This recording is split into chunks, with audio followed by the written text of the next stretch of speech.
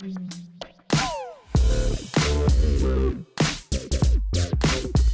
E cari iscritti, eccoci in questo nuovo video di Minecraft Snapshot. Benvenuti nello Snapshot 23W45A. Il primo snapshot a includere le ultime cose che mancavano, annunciate intendo, al Minecraft Live, ovvero le Trial Chambers, annunciate non l'ho detto per Minecraft 1.21. Mancano poi vi ricordo tante altre cose che presenteranno con gli snapshot nei mesi a venire, ma per ora teniamoci buoni, le Trial Chambers, il Crafter e l'armadillo che ancora deve arrivare. In questo video quindi vedremo sia sia le Trial Chambers sia altre novità che arriveranno non direttamente con la 1.21 ma prima con la 1.20.3 si tratta di modifiche molto piccole perché vi ricordo questo snapshot è in realtà uno snapshot per Minecraft 1.20.3 e le Trial Chambers della 1.21 sono al suo interno come feature sperimentali quindi possiamo giocarci ma non arriveranno nell'immediato. Prima di cominciare come sempre vi ricordo di entrare all'interno del mio server Discord, il link lo trovate qui sotto in descrizione, di dare un'occhiata al mio nuovo server Minecraft Minecraft Frattura MC, il link è sempre in descrizione anche per lui, e se vi interessano le novità della 1.21 magari di iscrivervi al canale, attivare la campanellina e mettere mi piace a questo video, purtroppo ci sono delle cose da youtuber che vanno fatte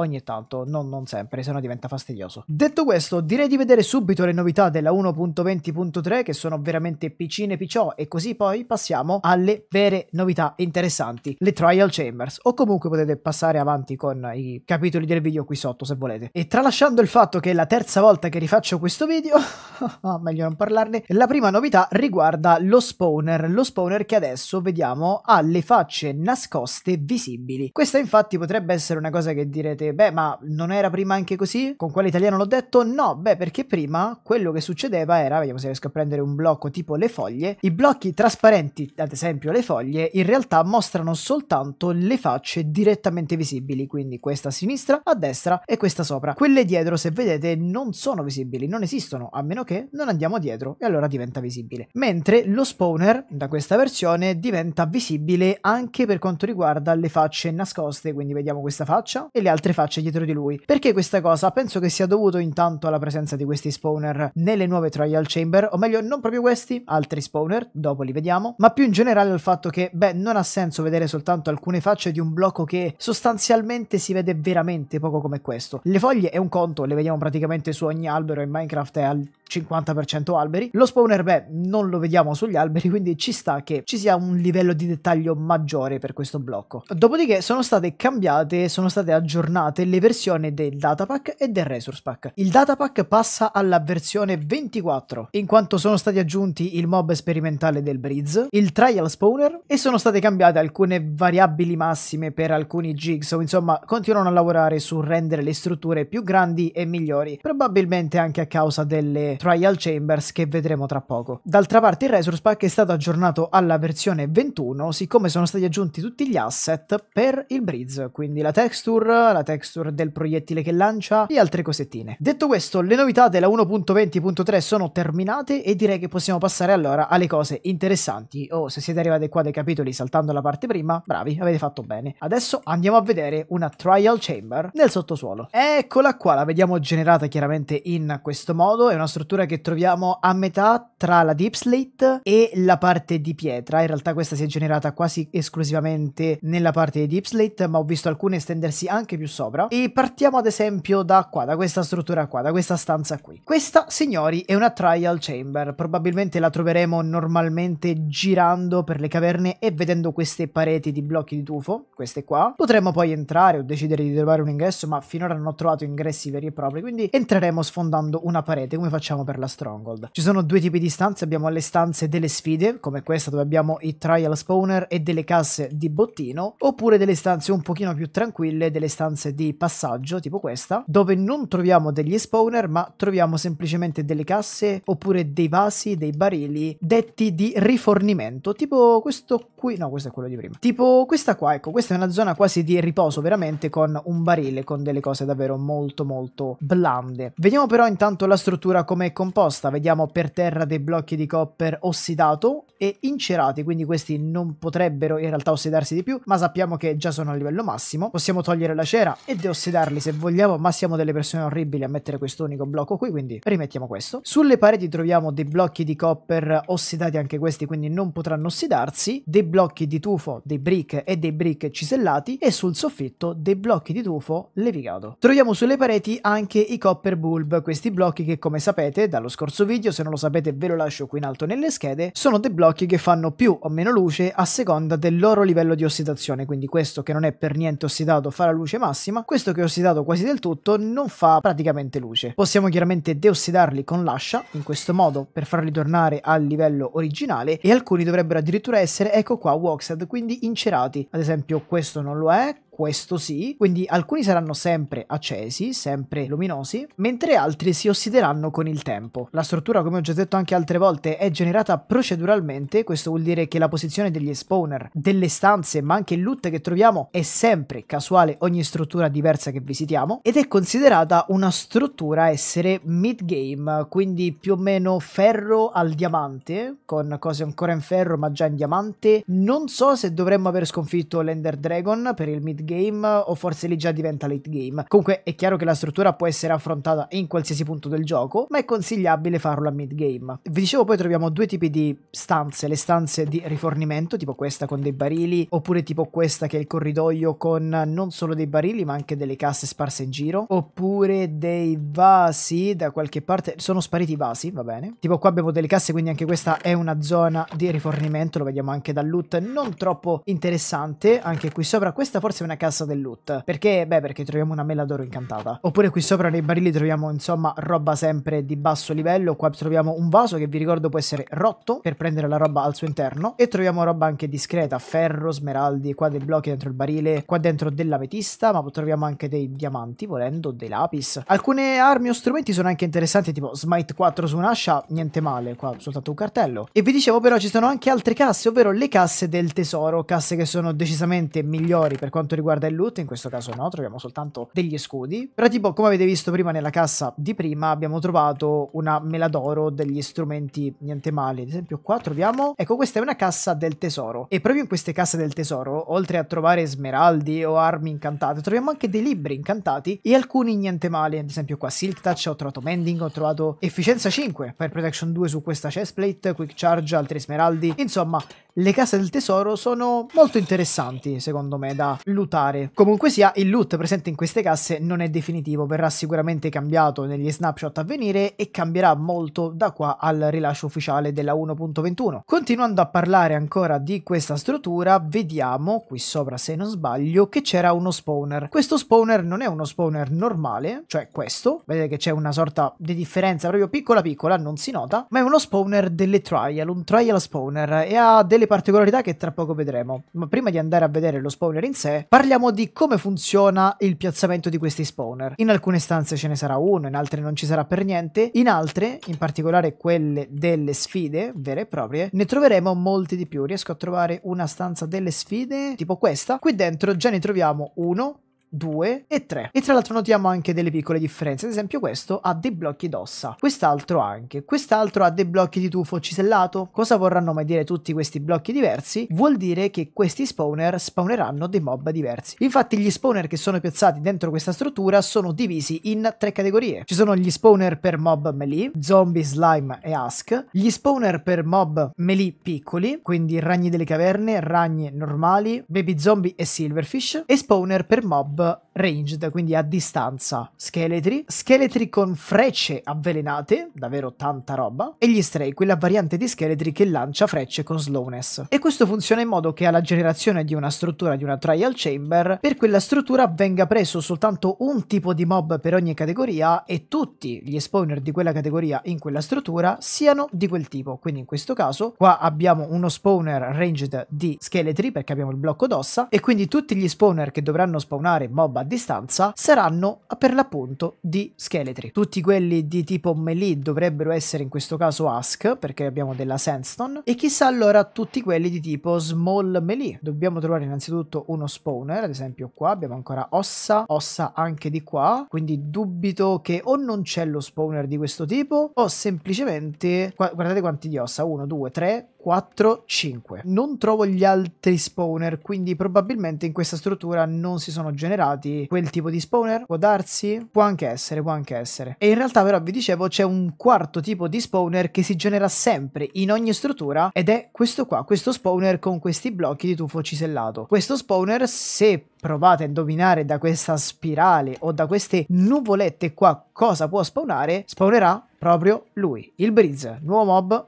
presente proprio in queste strutture e che vedremo più avanti. Cavalchiamo l'onda e continuiamo allora a parlare di questi trial spawner, degli spawner molto particolari perché intanto non avranno bisogno della presenza continua del giocatore nei pressi dello spawner per funzionare, ma spawneranno secondo un altro criterio. Intanto il mob spawnato non sarà affetto in alcun modo dal livello di luce, quindi qua ci può essere anche tutta la luce che volete, lui spawnerà il mob. Il mob sarà persistente, quindi non despawnerà se ci allontaneremo abbastanza e lo spawner terrà spawnati un certo numero di mob, contemporaneamente si intende, fin tanto che sarà attivo. Cosa vuol dire questo? Vuol dire che questo spawner a un certo punto si disattiverà. Si disattiva quando abbiamo ucciso un certo quantitativo di mob che sono definiti dal livello di sfida. E che cos'è allora questo livello di sfida? Bene, siccome vogliono rendere questa struttura un bel po' più difficile, questo spawner spawnerà tanti più mob, in proporzione si intende, al livello di sfida. Il livello di sfida è determinato dai giocatori presenti intorno all'area di questo spawner. Ma in realtà è un pochino più di questo. Si intende i giocatori che sono stati intorno a questo spawner da quando si è attivato fino a quando non si disattiva. E il livello di sfida, attenzione, non decresce. Questo vuol dire che se ci vado io con altre due persone, questo spawnerà il triplo dei mob. Giustamente, il livello di sfida sarà 3. Ma se quei due se ne vanno,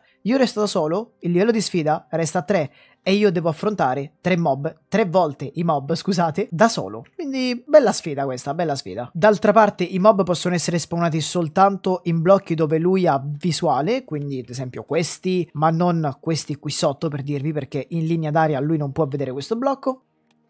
E tanto per darvi un'idea, lo spawner si attiva quando fa questa cosa, attiviamo anche quello e anche quest'altro, e vediamo che sono attivi, beh, perché hanno le fiammette come gli spawner normali. In questa stanza vediamo il breeze, vediamo anche gli scheletri e tante cose che stanno succedendo. Io ho tanti effetti, quindi non mi fanno niente. Adesso li ucciderò perché voglio farvi vedere, guardate, io uccido questo, uccido quest'altro che è appena spawnato e ne spawna un altro. Vedete, man mano che muoiono i mob che ha spawnato uno spawner, altri mob spawneranno da quello spawner. Ecco qua.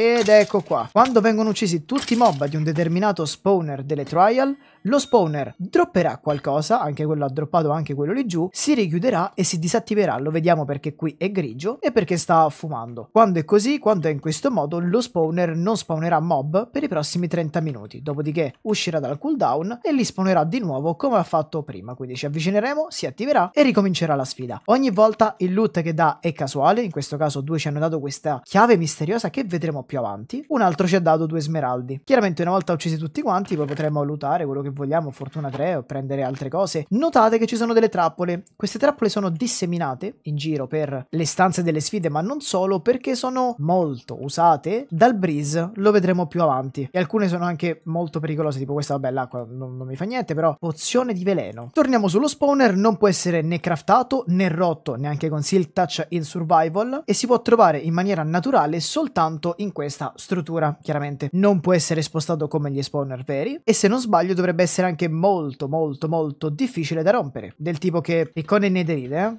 Io ancora non ho visto neanche un segnetto. Chiaramente se vengono piazzati in creativa intanto fanno un bellissimo rumore di piazzamento e rottura. Comunque, se piazzate in creativa non hanno alcun mob settato, che si può settare con l'uovo di spawn, ad esempio questo qua, la mushroom. Vedete che poi diventa così arancione per dire è pronto a spawnare. E se andiamo in survival si attiverà per dire guarda puoi spawnare, o meglio inizio a spawnare, e beh inizierà a spawnare delle mushroom. E restiamo qua e vediamo il Breeze. Breeze che come vedete ha anche il suo uovo di spawn e che è questo mob, un mob violastro, possiamo dire, magari aspettate che metto un po' di luce in questa stanza stanza. Ok, ora effettivamente si vede qualcosa. Dicevamo, il Breeze è questo mob violastro, che io pensavo essere inizialmente della famiglia degli LA, ma in realtà rivedendolo sembra più un Blaze, anzi diciamo che è proprio un Blaze, con l'unica differenza che ha queste soltanto tre zampette che girano e poi ha un tornadino. Questo tornado non è a caso, perché indovinate, il dannato cos'è che para? Le frecce. Le frecce, tra l'altro, vengono deviate verso una direzione casuale, vediamo un po'. Sì, ok. L'unico modo per, diciamo, colpirlo, per ucciderlo, è andare in ravvicinato, ma come vedete, oltre lui a spararci, adesso vi dico qual è il suo attacco, dicevo, per andare da ravvicinato, guardate, lui salta. Quindi in realtà andare vicino a lui non è la cosa più semplice del mondo perché scappa. Vediamo poi che lancia queste pallette d'aria che se ci colpiscono fanno mezzo cuore di danno in normal, adesso a me non fa danno perché ho resistenza, però ho controllato, mezzo cuore in normal, quindi penso un cuore in hard, soltanto però se ci colpisce. Se colpisce un blocco, ci respinge soltanto e poi ci farà eventualmente danno da caduta, se lo prendiamo. Andando vicino a lui non credo che prendiamo danno, no, quindi non è come i Blades. E se avete notato ha la particolarità di interagire con alcune cose di Redstone e questo lo sappiamo già dal Minecraft Live. Visto? Ha attivato queste cose.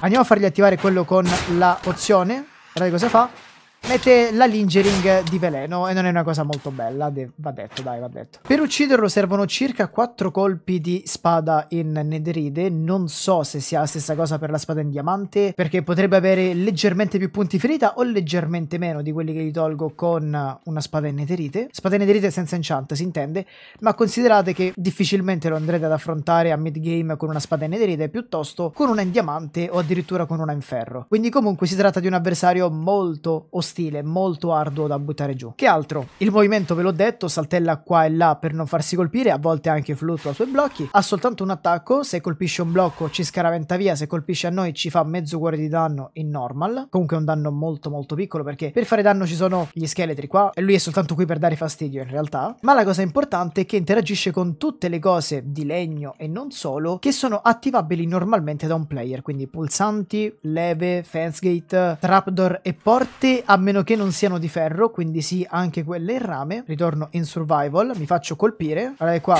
suona la campana e spegne le candele perché giustamente è una ventata d'aria molto forte, quasi soffia sulle candele e le candele si spengono. Adoro questa cosa. Come dicevo, questa cosa, questa ventata d'aria non ha alcun effetto su blocchi di ferro, quindi trapdoor e porte in ferro, ma anche su blocchi che sono tenuti alimentati da una torcia, da un segnale di redstone, dicevo una torcia perché se pensavo alla torcia, ma in realtà qualsiasi cosa. Quindi in questo caso facciamo così, facciamo anche così per vederlo. Se spara adesso a queste cose vediamo che non le attiva in nessun modo. Se tolgo la torcia invece sono in adventure. Dicevo, se tolgo la torcia e mi faccio risparare, si chiude e si chiude. Ultima cosa che manca all'appello è lei questa chiave misteriosa che viene droppata da alcuni trial spawner quando vengono completati e che al momento non ha alcun utilizzo, o meglio è qui perché secondo me devono fare qualcosa, devono metterla per fare qualcosa per forza, ma che al momento ancora chiaramente non hanno implementato. C'è gente che ipotizza, dato che si tratta di una chiave sostanzialmente con colori molto molto simili a quelli del Deep Dark, che possa per l'appunto attivare il portale che ci dovrebbe portare in una zona del Warden, in una dimensione del Warden, ma secondo Secondo me non sarà così, o almeno credo che non sarà così. Poi se è così in realtà non è che mi dispiaccia. Ma potrebbe essere che questa chiave serva per aprire effettivamente queste casse, le casse del tesoro presenti all'interno delle stanze questa qua sfida. Quindi immaginate entrate qui dentro, queste casse sono bloccate e gli spawner sono, si iniziano ad attivare, quindi dovremo affrontare i mob per completare la sfida, per prendere le chiavi, per aprire la cassa e quindi prendere effettivamente del loot. Potrebbero farlo in due modi, potrebbero mettere una funzione alle casse vanilla o introdurre un nuovo tipo di casse, casse di pietra si vociferava, che dovevano inizialmente arrivare con il Deep Dark, poi in realtà sono state scartate dal progetto, ma che vi ho detto potrebbero magari fare la loro riapparizione qua ed essere delle casse che si possono aprire soltanto con una chiave delle trial, consumando di fatto questa chiave, visto che prima avete visto su 3, 2 ci hanno droppato la chiave. E con questo chiudiamo la carrellata di tutto quello che c'era da sapere fino adesso sulle trial chambers. Vi ricordo c'è ancora molto da cambiare, da aggiungere e e da sapere riguardo alla 1.21, l'aggiornamento non finisce qui, dovremo semplicemente aspettare i prossimi snapshot. Detto questo, fatemi sapere cosa ne pensate di tutte queste cose aggiunte in questo snapshot, di questa struttura, delle trial key, delle trial chambers in generale della struttura, se l'avete già provata voi in survival, io sì, già qualche volta e non perché ho rifatto il video tre volte. Vi ricordo di entrare all'interno del mio server Discord, il link lo trovate qui sotto in descrizione e anche di dare un'occhiata al mio nuovo server Minecraft Fracture MC, attualmente in lavorazione, anche per quello il è in descrizione. Detto questo, se il video è piaciuto lasciate un like, commentate ed iscrivetevi, noi ci vediamo alla prossima puntata di Minecraft Snapshot e ciao ciao!